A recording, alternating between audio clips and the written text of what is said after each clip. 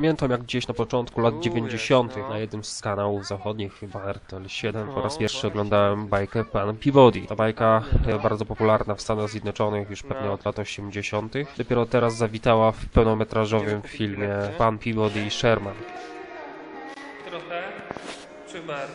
Bajkę polecam przede wszystkim tym rodzicom, w których domach jest już ten czworonożny przyjaciel, ale również tym rodzicom, którzy zastanawiają się nad sprawieniem swoim dzieciom takiego pupila. Skoro każdy pies powinien mieć swojego chłopca, to także każdy chłopiec i dziewczynka powinien mieć swojego psa.